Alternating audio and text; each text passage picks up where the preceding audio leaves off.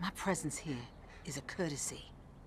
The next visit you get may not be as amicable as me. I knew a girl about your age who got pregnant.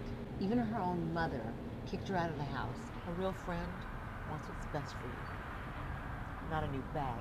What do you think of your new daughter-in-law? We haven't met. Um, I couldn't make the wedding in Tempe because uh, there were no affordable hotels that would take me and my girl.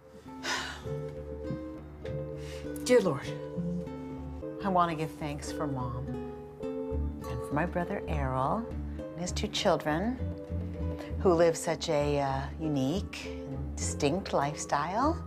Let us pray for them. Amen.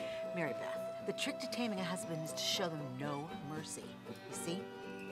When he says, make me a sandwich, you dab some Ex-Lax in the mayo.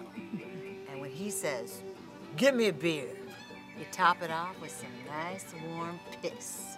and when he says, suck my dick, you give him a feel for those pearly whites of yours. You tutori cuzero. Those hoes really don't love you, man. Those hoes gone like they on cane. Hey, contentierestero. This mouth does more than sing, nigga no gag reflex. No other, huh? You're mean, you're broke, and you're wet. I'm not wet. Ah!